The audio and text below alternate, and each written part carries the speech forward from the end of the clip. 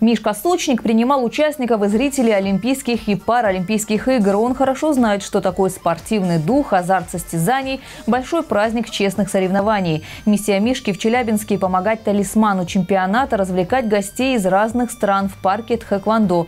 Принимать участие в соревнованиях Мишка Сочник не собирается, однако юные сочинские тхэквондисты все-таки дали ему несколько уроков. Ребята торжественно проводили Мишку в дорогу, наказав передать коллеге и родственнику медведю символический подарок из Сочи – пальму первенства.